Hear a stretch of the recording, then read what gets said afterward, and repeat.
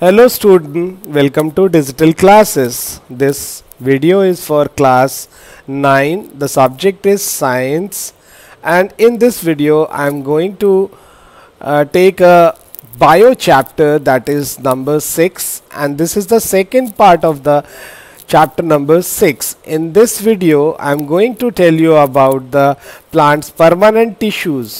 In simple permanent tissue I discuss sclerenchyma in this video and permanent tissue means the complex permanent tissue about the phloem and xylem tissues. Another permanent tissue is a complex tissue. Complex tissue are made up of more than one type of cell. All these cells coordinate to perform a common function. Xylem and phloem are the example of such complex tissue. First I want to discuss little more about the sclerenchyma in this video. Now the occurrence of sclerenchyma found abundantly in the stem of the plant like hemp, jute and coconut. It is it is present in stem around vascular plant in the leaves and hard coating of seeds and nut. The cell of this tissues are dead they are long and narrow as wall are thickened due to lignin, a chemical substance which act as cement and harden them. Often these walls are so thick that there is no internal space inside the cell. This tissue is present in the stem around the vascular bundle, in the vein of the leaves and in the hard covering of the seed and nuts. It provides basically the strength of the plant parts. Now the function of the sclerenchyma, it gives mechanical support to the plant by giving rigidity, flexibility and elasticity to the plant body. Means uh, the tissue present in the stem around the vascular bundle in the vein of the leaves and the hard covering of seed and nuts. It provides strength to the plant part the sclerenchyma cells are of two type. One is the fibrous and second is sclereids. The sclerenchyma cells are usually elongated with, with tapering ends.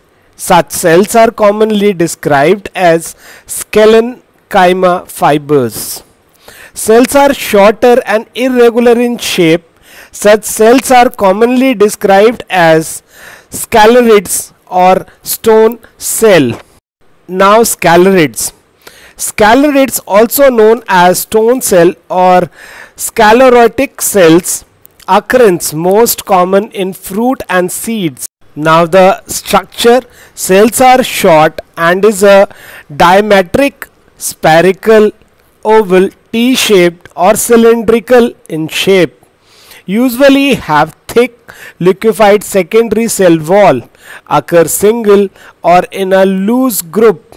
Now the function of sclereids protection or protects the plant from stress and strain from environment. Provide mechanical strength and rigidity. Provide grittiness to the pulp of the fruit. Now the epidermis the epidermis may be thicker since protecting against water loss in critical.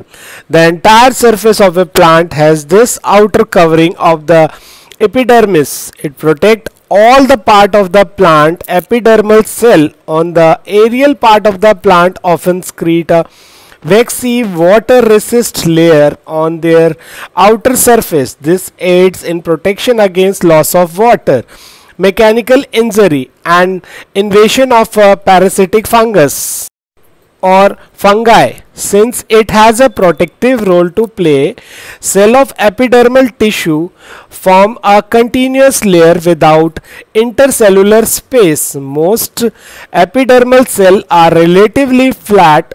Often their outer and side walls are thicker than the inner wall. Epidermal cell of the roots whose function is water absorption commonly bear long hairs like part that generally increase the total absorptive surface area. In some plants like desert plant, epidermis has a thick waxy coating of the cutin, chemical substance with water-proofing quality on its outer surface.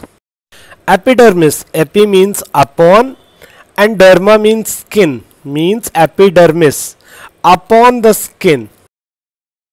Now the function of epidermis. It forms a boundary between the plant and the external environment. It protects against water loss, regulate gas exchange, secretes metabolic compound such as oxygen during the photosynthesis, absorbs water and mineral nutrients especially in the especially in the roots. The epidermis of the moss leaf shows dorsoventral anatomy. The upper adaxial and lower abaxial surface that somewhat different construction and may serve different function. Woody stem and some other stem structure produce a secondary covering called the periderm. The replace the epidermis as the protective covering.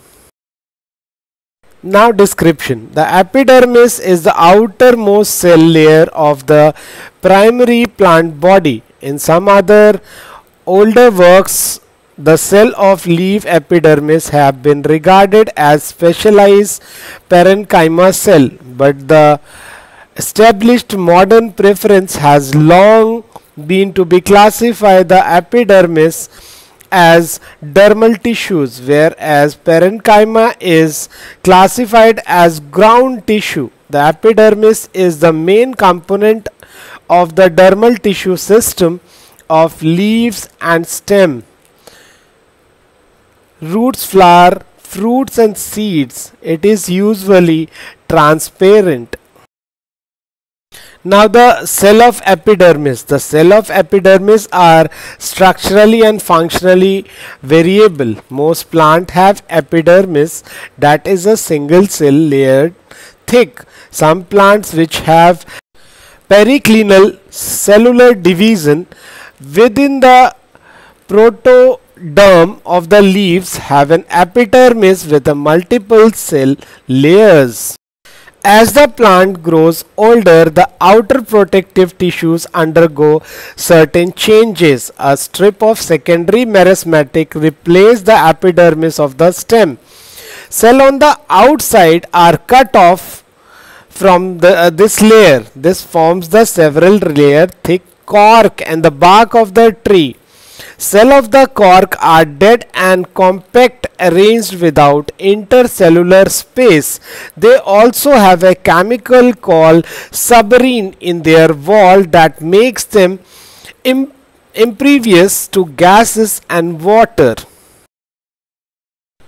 Now the another type of permanent tissue that are complex permanent tissues.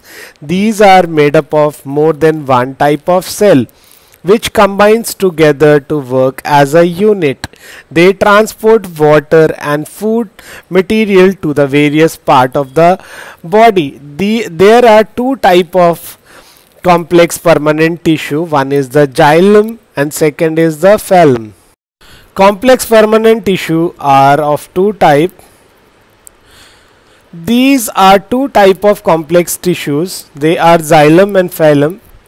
They are called the vascular or conducting tissues. Xylem consists of tracheid, vessels, xylem parenchyma and xylem fiber. The tracheids and vessels help to transport water and mineral from the root to all part of the plant.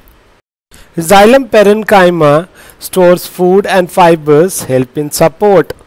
Phloem consists of sieve tubes, companion cells, phloem parenchyma and phloem fibers. The sieve tube and companion cell transport food from leaves to all part of the plant. Phloem parenchyma stores food and fibers help in support.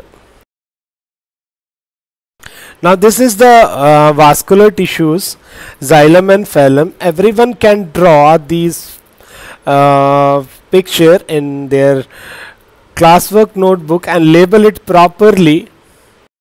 This is the uh, xylem tissue and this is clear picture so you have to draw this or uh, another also and this is the phloem tissue so everyone can draw this in a classwork notebook or you have to draw the another that is given in the book. But these pictures are very clear so you can draw this also this complex tissue help in the transport of water and soluble mineral nutrients from the root to the all part of the plant body. It also help in replacing the water lost during the transpiration and photosynthesis. The component of xylems are tracheid vessels, xylem parenchyma, xylem fiber. This tissue is found in the vascular plant. Its function is to transport sugars and other food materials from the leaves to the rest part of the plant body. Xylem and phloem together form a vascular bundle to transport materials within a plant. Component of phloem sieve tube element companion cell phloem parenchyma phloem fibers I put this uh, photo or uh, this in our video to see the location of these component of phloem. Vascular bundle, xylem and phloem together form the vascular bundle. You see the vascular bundle is a part of transport system in vascular plants. The transport itself happens in vascular tissue which consists in two forms, xylem and phloem. Both these tissues are present in vascular bundle which is addition will include supporting and protecting tissues. The xylem typically lies adaxial uh, with phloem po uh, positioned abaxial in a stem or root this means that the xylem is closer to the center of the stem or root while the phloem is closer to the exterior.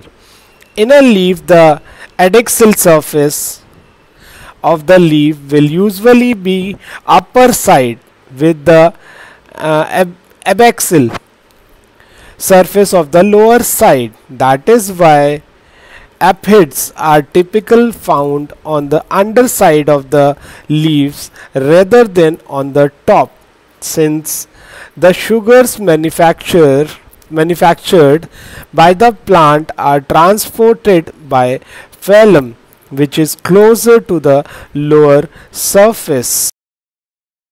One more important thing is pith or medulla is a tissue in the stem of the vascular plant pith is composed of soft spongy parenchyma cell which store and transport nutrients throughout the plant. In eudicotyledons, pith is located in the center of the stem. In my uh, monocotyledon, it extends also into flowering stems and roots. Now I am going to discuss about the differences between parenchyma, collenchyma and sclerenchyma. This is a very important question. So everyone must write in their classwork copy. Parenchyma cell are found in every soft part of the plant. Collenchyma cell are found in petiole, leaves and young stem. Sclerenchyma uh, is found in the mature part of the plant. Now the now the parenchyma unspecialized cell and col uh, is specialized cell and sclerenchyma again a specialized cell. Parenchyma consists of a thin cell wall whereas collenchyma consists uh, of an unequally thin cell wall and sclerenchyma consists of a thick and rigid cell wall. And the last point for uh, all three. Cell wall is made up of cellulose. In collenchyma cell wall is made up of cellulose and pectin. In sclerenchyma cell wall is made up of waterproofing lignin. In parenchyma intercellular space is present between the cell no or little intercellular space in present between the collenchyma. Sclerenchyma, there is no intercellular space is present between the cell. Consist of living cell at maturity in in parenchyma. Uh, now in collenchyma consist of living cell at maturity and finally in the Sclerenchyma consists of a dead cell at the maturity. Photosynthesis, store of food, gas exchange and flowering of the aqueous plant are the major function of the parenchyma and uh, providing mechanical support to the plant, resisting bending and stretch of the wind are the major function of the collenchyma and Sclerenchyma provide mechanical support, protection and transportation of water and nutrients that are the main major function of the sclerenchyma. I hope everyone would understand what I taught in this video. If there is a any kind of uh, problem, you can uh, ask within a class to clear your doubt. In the next video, I am uh, I am going to tell you about the animal tissues. And whatever I uh, say in this video for draw to write you have to write in your classwork copy as notes